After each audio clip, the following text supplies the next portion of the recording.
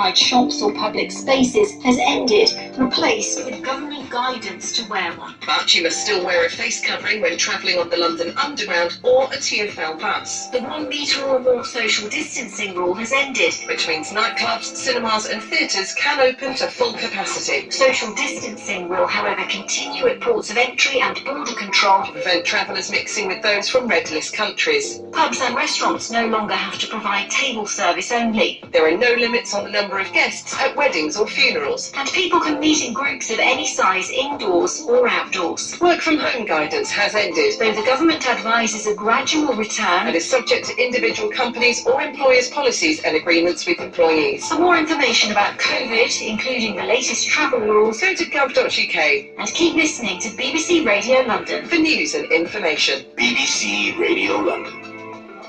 I'm Jumoke Fashola. This is your drive time programme for a Tuesday evening here on BBC Radio London. Now, a new UK study is looking at whether the gap between doses of the COVID vaccine should be changed to give pregnant women better protection. 600